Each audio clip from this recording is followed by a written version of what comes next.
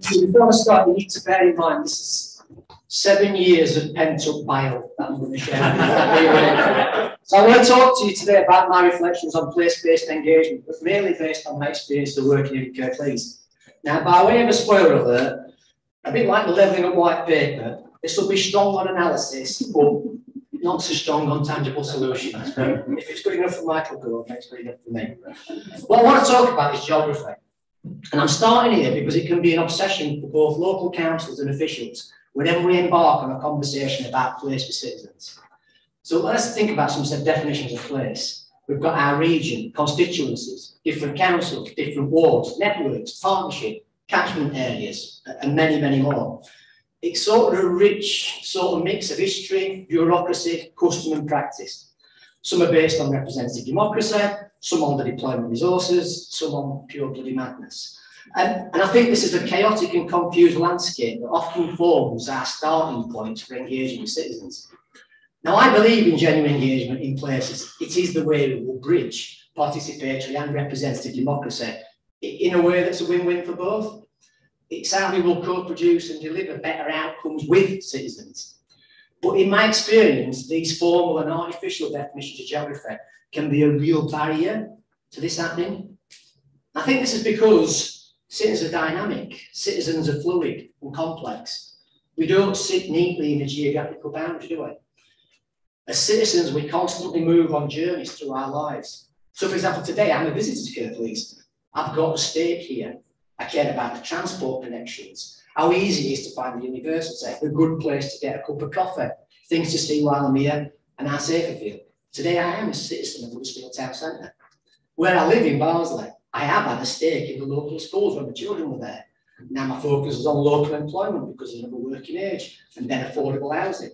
At election time, I care passionately about who I vote for and how they will represent me for the next four years or so. Now, in all of those interactions, my engagement is not principally driven by the geography. It's more fluid, complex, and granular. Now, I know all this might be obvious, but now let's think about how some of this plays out when organisations like councils embark on engaging with citizens in places. I believe that the obsession with established geography often gets in the way of this. So let's start with councillors. Even if we accept that electoral wards should be the building block for citizen engagement, We've set councils up to fail from the start because the geography is way too large. So in some of the wards in Kirklees, we have three councillors representing over 15,000 citizens. I know that achievable representation is a wider discussion, but, but I think you begin to get the point. So let's consider about what actually happens when we embark on place-based engagement in electoral wards.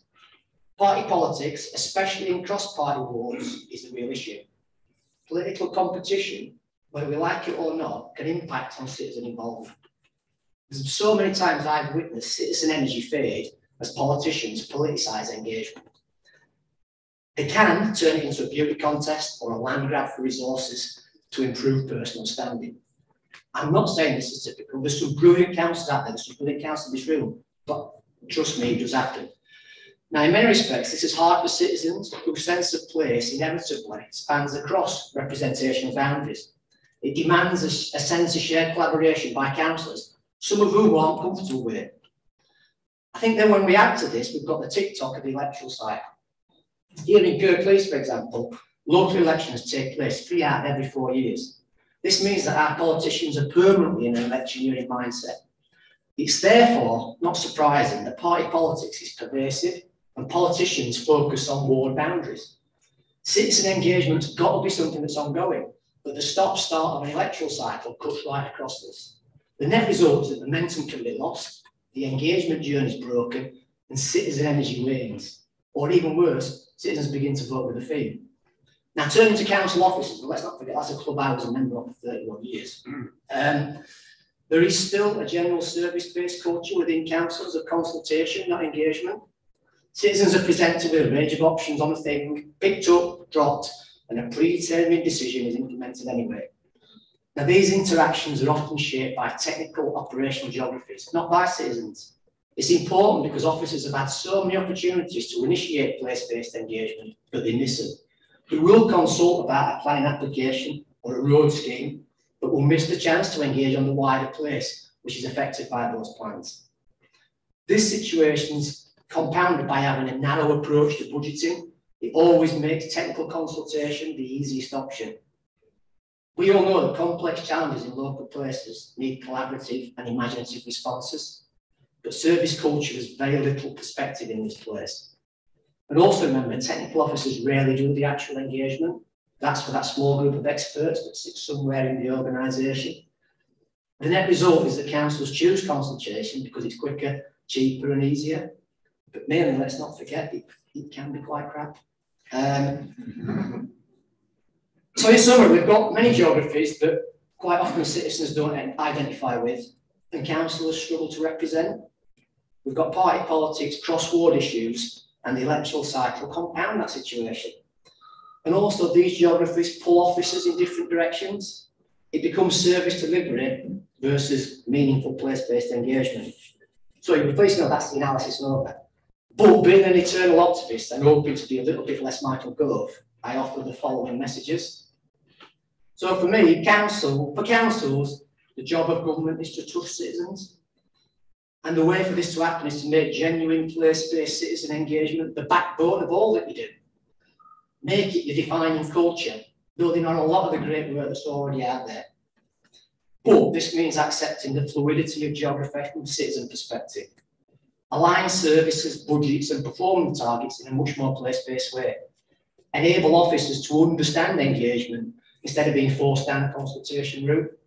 Make engagement a core skill set for council officers and make sure they have the chance to use it.